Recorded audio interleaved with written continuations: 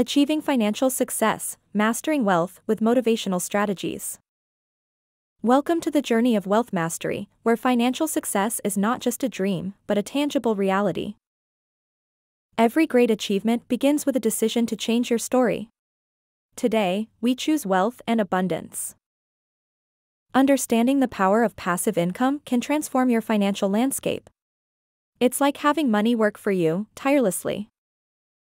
Saving is not just about putting money aside. It's about investing in your future self and unlocking doors of opportunity. Diversification is key. Spreading your investments can significantly reduce risks and increase the chance of a more stable return.